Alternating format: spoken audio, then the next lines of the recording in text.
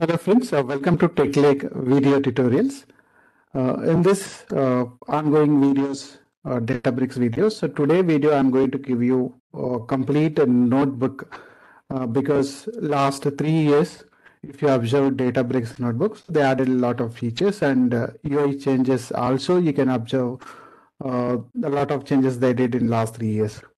Okay, so I have created multiple videos on Databricks, which is a two and a half years back or three years back.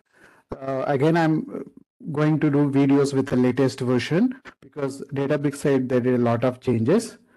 So today, what we will do, we'll start with a Databricks notebook. What is Databricks notebook and uh, how to use Databricks notebooks and features. Okay, this is my Databricks workspace. This is my Databricks workspace. And if you go to the home page, if you go to the home page, there is an option called create notebook. Okay, if you want to upload any data, there is option called upload data. So just I'll highlight here. If you want to upload any file, you can upload here. If you want to create a notebook, you can create a notebook. So today, first we'll understand notebook features. Then later we'll understand more related to uh, data related. Okay, let's create a notebook. So once you click on create a notebook, you, you, you'll get an option in a window that you need to provide a name. You need to choose a default language. And uh, there, once a notebook is available, which you can go with any language. Okay, with the default language, which you can choose this. Introduction. And you can choose the cluster. You can choose existing cluster or you can create a new cluster as well. And this is a new visualization uh, at notebook. So they added uh, recently. So even you can try it out. Even you can learn more. It will route it to documentation. Just i'll close this. Just i'll close this. If you're looking for sample notebooks so if you go to the get uh, get started guide there is a get started guide. You can go through those. There uh, you can find a lot of documentation. So here it will be routed to Microsoft website page. So there you can find a lot of documentation. So that's about here, the home page. Even there is option called Quick Start Tutorial. So this will give you complete notebook features. If you click on Start Tutorial, it will create one notebook for you. You see this, yeah.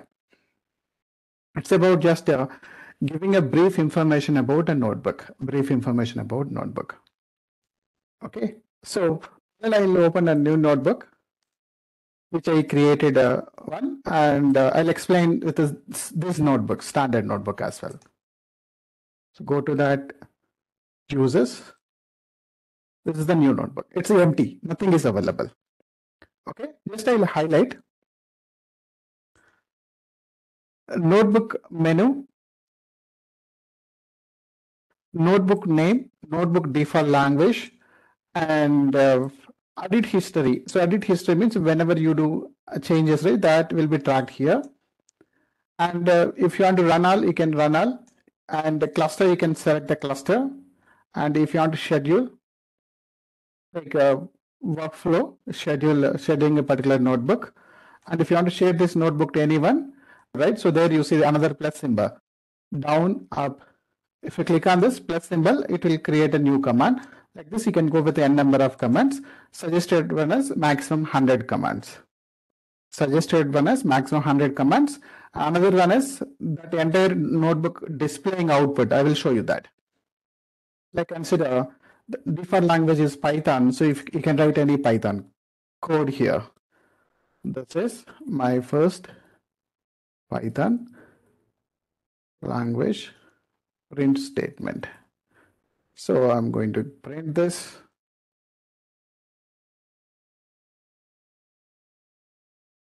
Okay, now. So this is the output. Like this, even you can print a file system, you can use a data frame, whatever it is. But default language here, it is a Python. We'll call it as a magic commands. Even you can run a shell script. Even you can run percentage sh shell commands because the Databricks backend cluster is Ubuntu cluster. So there you can run any shell command, shell script if you want to run. You can run this percentage sh and percentage fs Which is a file system. If you want to interact with the file system, the backend is a distributed file system, DBFS, Databricks file system, or even you can mount data lakes, blob storages. So that is also possible. those also you can use this. By default, you will get a mounted path. So that is a S3 location mounted path, Databricks datasets. It is having a plenty of folders. It is having plenty of folders. Okay. So even you can use a percentage fs working on file system. File system means listing files. And so other than this, which you can use other languages, percentage MD. So markdown. Okay. So markdown. So even you can move the cells up and down. You see this. Cut, cut, cut, paste. Even you can do control X and paste here. Wait.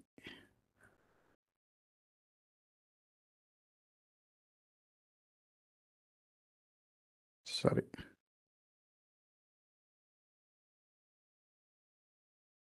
Okay, so I pasted here. Even you can move up and down. There is a option move up and down. My mouse is not working properly. Yeah. Okay, this cell, if you want to move up and down, you can move this. So that's the flexibility. And uh, uh, here you will get option called run current cell, the current cell. Okay, just earlier it was uh, copy pasted that right that was issue. Now you can run above run below. So markdown document so percentage md is a logic uh, magic command for markdown document. So like if you can give any documentation here you can give any documentation. That will help you a lot. Then other than this even you can run sql using just a percentage sql like show databases. So it will show available databases. So only default one database is available. Okay. Even this result, when you can, if you want to access in PySpark, you can access as a data frame called this one. So display the data frame uh, here it is underscore SQLDF.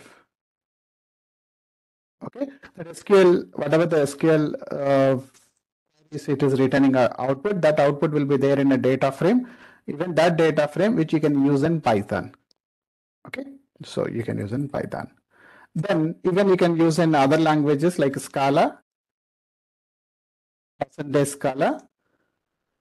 Percentage r. Okay? So like this which we can go with the magic commands. I want to upload one file. Just i'm going to upload one file. Click on upload data click on upload data. So the home page, you, you can upload any file here or you can go to your notebook.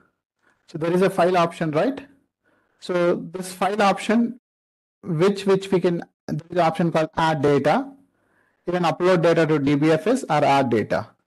So upload data to DBFS means you will get this window, specify the location where you want to upload. Like I want to upload uh, under the file store, under tables. So select the file. If you have a data file, you can select that file. So I have this data file. Then next. Once you upload the file, you'll get a read API. You see this PySpark data frame read API, Pandas data frame read API, R language, and Scala. Okay. So even if you want to copy, you can copy that. So now you can, if you want to create the data frame, that whatever we uploaded a file, then you can create a data frame. So if you go to the file, so there you'll, you'll have option called upload data.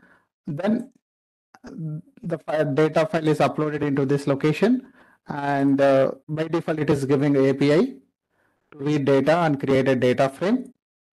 And if you want to display the data, you can use the display function. You see this. Okay. Now, if you go to the file, there is option called share. If you want to share this notebook uh, to anyone, you can share this. Okay, you can share to existing developers developers in a project, which you can give a privileges like read, run, edit, manage privilege, and which we can share.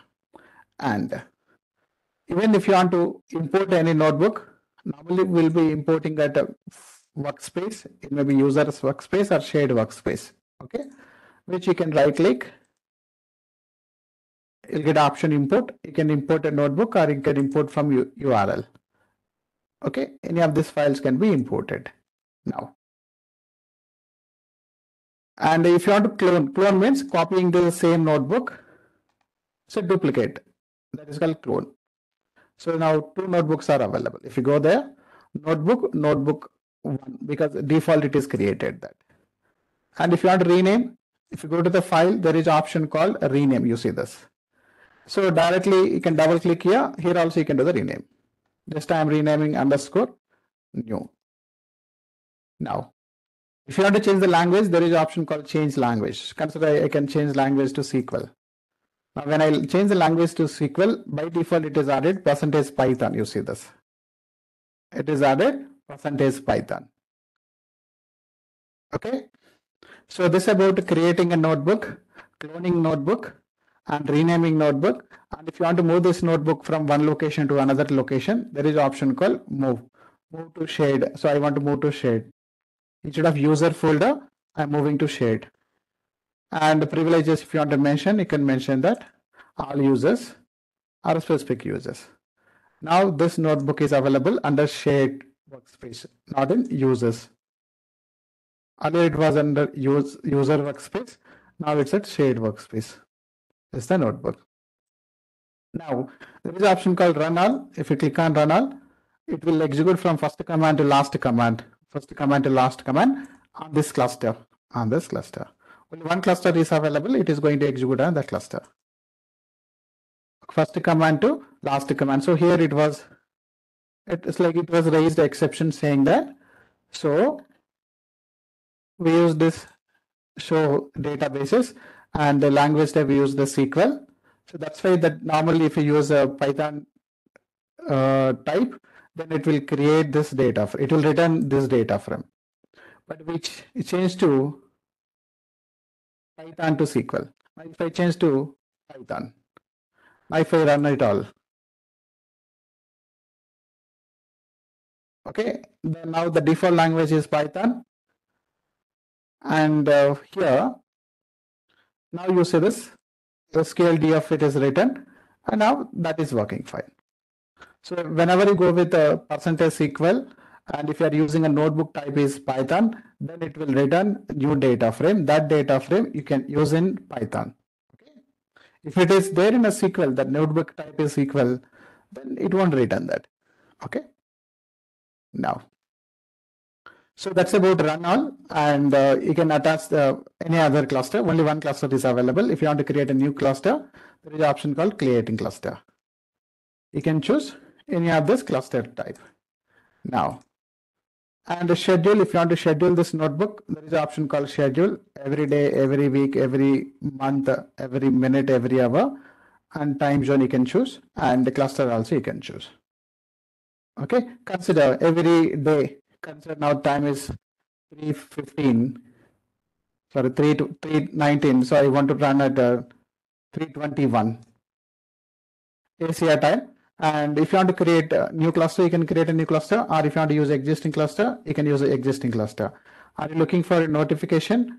You can use alerts when job starts, when job success, when job failure, which you can use this. Then create. So I schedule this and that you can find in the workflows. If you go to the workflows, you see this. So this will be triggered exactly at 3.21 p.m. IST time. IST time. Okay and uh, go to the notebook again. We'll revisit uh, after one minute because now it's uh, 320. Another one minute it will be triggered. So that's about the schedule. And share. So as I told you, right, if you want to share this notebook to any other developers, which we can go with share option. And uh, if you want to hide this, you can hide this. There is a navigation bar. If you want to hide if you want to show you can show this. Because here you'll get a search window. That search, search window will help you a lot. A lot of features are available here in this you can search if you have a thousands of notebook you can search particular function particular variable particular table in that okay? That will help you a lot. Then if you want to export this notebook you can export as a dbc file. You see it is exported as a dbc file. And you can export as a source file. Source file means python.py file. You can export as ipython ip okay? Ipynb file and if you want to export as html you can export as html so this is html html whatever we created a notebook that notebook in html okay now. So under file one is mode. Delete is not available. Delete only available in community edition. here delete is nothing moving to trash okay? And as i told you revision history will be available. You can click on this re recent uh, activity or version history. So it will be shown in the right side. The right side you see the notebook. Revision history. Okay? Complete history. And there is an option called you see this? Last edit was four minutes ago. If you click on this you get the same one. Even if you go to the file, so there also you will get in see version history and uh, you can exit this version history. And there is an option called comment. Consider your project is having a multiple people working a multiple people, your team lead uh, or some external review or if they're reviewing your code and they want to provide the comments. So they can select a particular topic and uh, they can go with the comments. They can go with comments. So they can select anything so automatically when they select, you see comment symbol is enabled. They can click and they can provide comments. Okay, so that's about the comments option, which any notebook, any command, which they can highlight and they can provide the comments.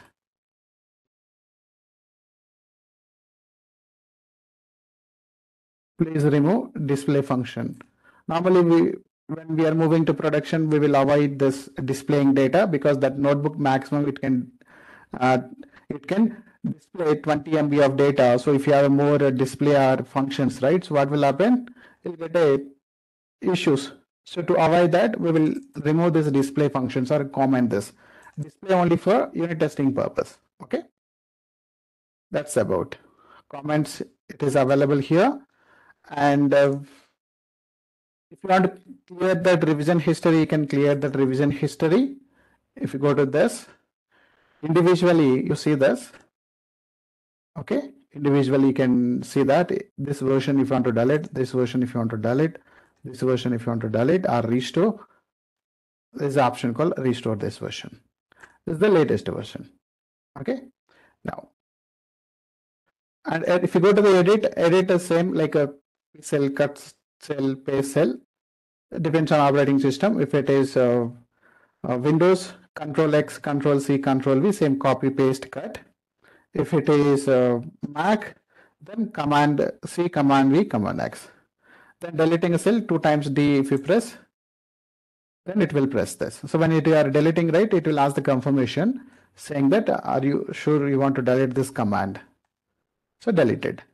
Then control z a undo. Control Z is undo. So whatever I deleted, I reverted that. And if you want to find and replace, there is an option called find and replace, which you can search a particular character and you can replace. Replace or replace all. So this will help you a lot when you are searching something. Consider I'm searching DF1. So here, okay. So I, I replace with empty. So it is replaced here. Okay.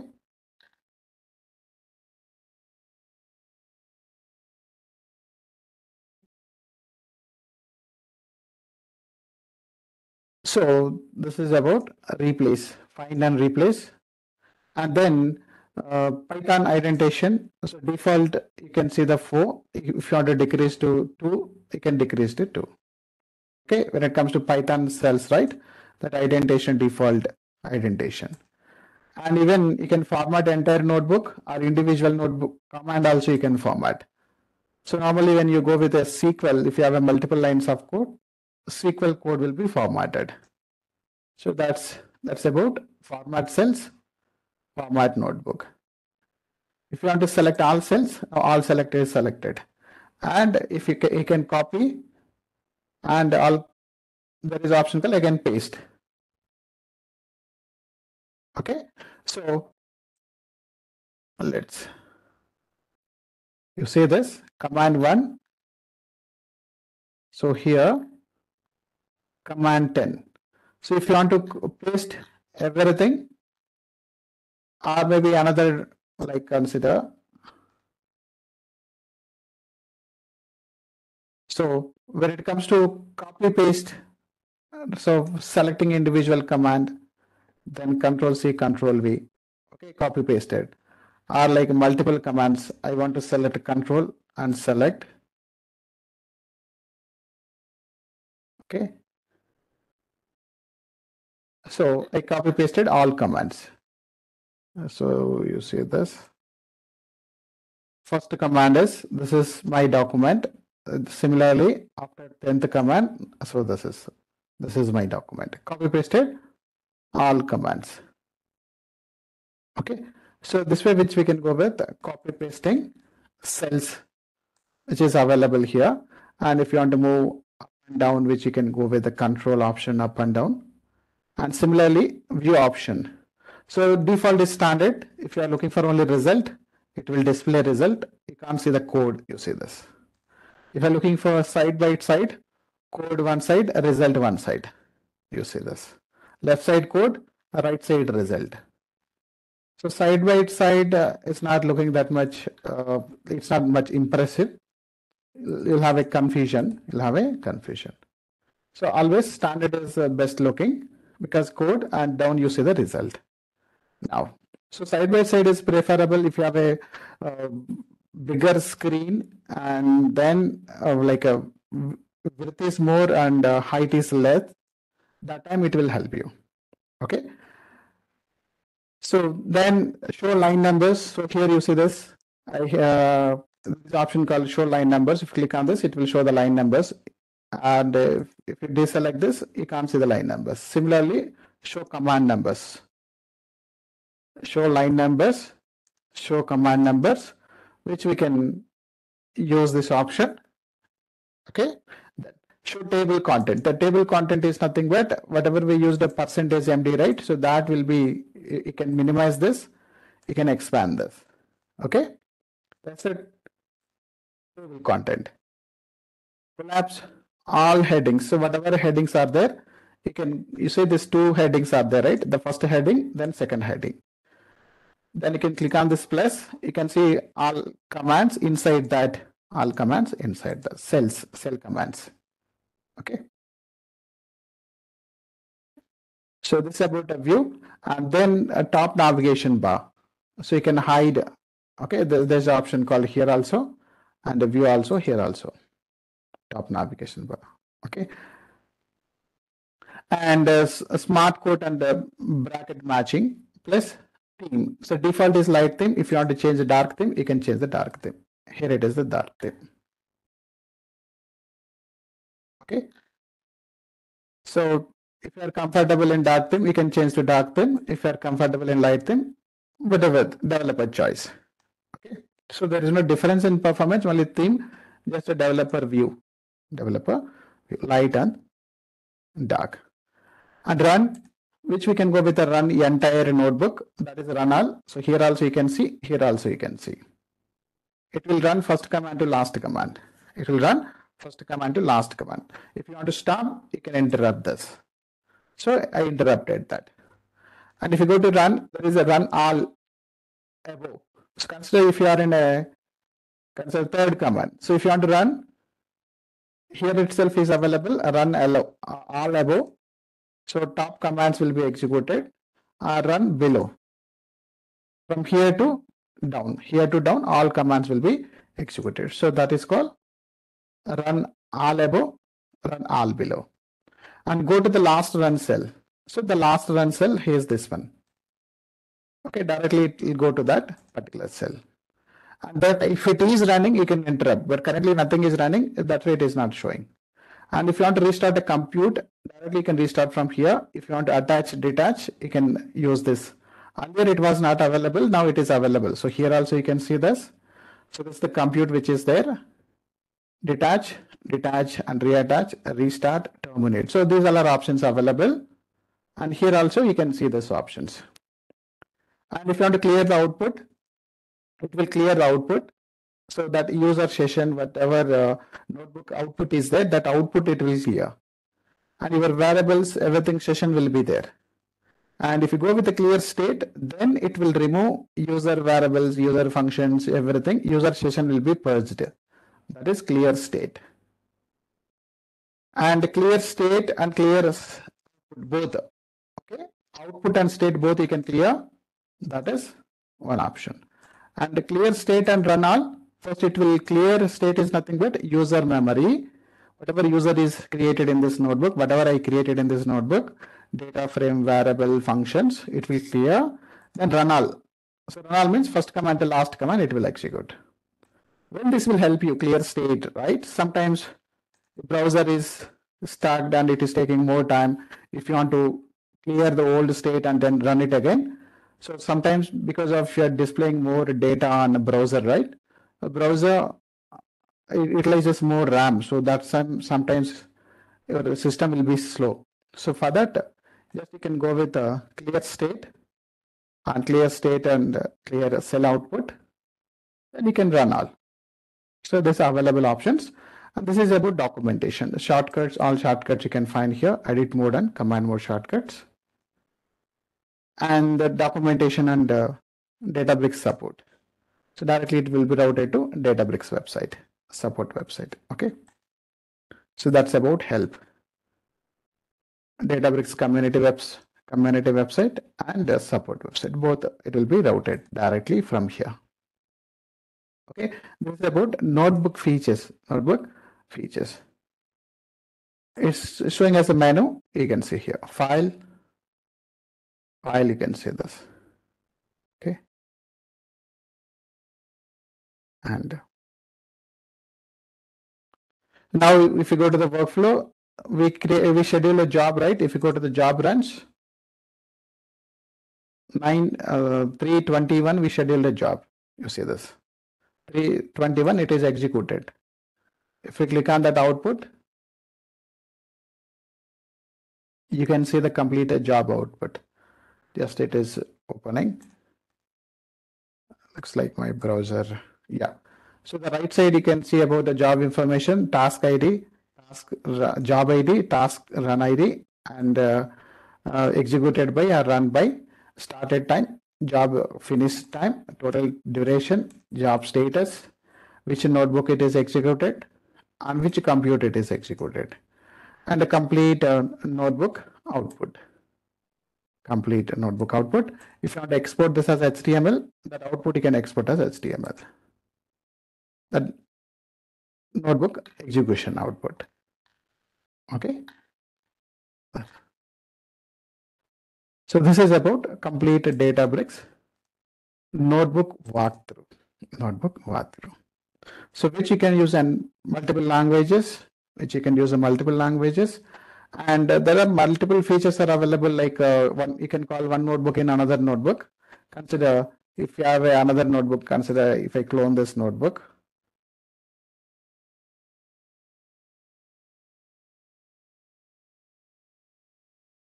So we have a two notebooks now. So if I want to call that notebook here, I can use a percentage run, and then that notebook name, introduction underscore new. So you can execute that notebook. So whatever notebook it is having a documentation and output, everything it will display. You see this. So that is percentage run. So percentage run is option one. We can call one notebook in another notebook. And the dbutils also available like widgets, multiple things are available. Okay. This is about. So I executed one notebook in another notebook. So I call this notebook, new notebook into this notebook. Okay. Just percentage run your notebook name. So this way which we can utilize Databricks notebooks for data engineering or data science projects. And you'll get a lot of benefits from this. Thank you. Thank you for watching my videos. If you're not subscribed, please subscribe my channel. See you in another video. Thank you. Have a good day.